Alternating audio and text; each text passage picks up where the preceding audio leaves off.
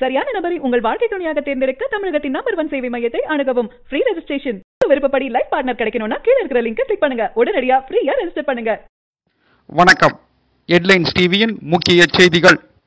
தமிழகத்தில் வரும் பத்தொன்பதாம் தேதி முதல் பத்து மற்றும் பன்னிரெண்டாம் வகுப்புகளுக்கு பள்ளிகள் திறக்கப்படும். முதல்வர் பழனிசாமி அறிவிப்பு. கல்வி பயில்வதில் மாணவர்களின் வருங்கால நலனை கருத்தில் கொண்டும் வரும் பத்தொன்பதாம் தேதி பத்து மற்றும் பன்னிரெண்டாம் வகுப்பு மாணவர்களுக்கு மட்டும் பள்ளிகள் திறக்கப்படும்.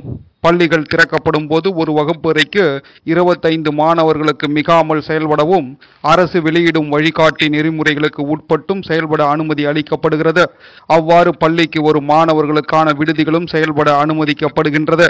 அனைத்து மாணவர்களுக்கும் நோய் எதிர்ப்பு சக்தியை அதிகரிக்க ஏதுவாக வைட்டமின் மற்றும் துத்தநாக மாத்திரைகள் வழங்க சுகாதாரத்துறைக்கு உத்தரவிடப்பட்டுள்ளது. மாணவர்களின் நலன் கருதி அரசு எடுத்து வரும் கோவிட் தடுப்பு முன்னெச்சரிக்கை நடவடிக்கைகளுக்கு பெற்றோர்களும் ஆசிரியர்களும் மற்றும் மாணவர்களும் முழு ஒத்துழைப்பினை நல்குமாறு அன்புடன் கேட்டுக்கொள்வதாகவும் முதல்வர் பழனிசாமி தெரிவித்துள்ளார்.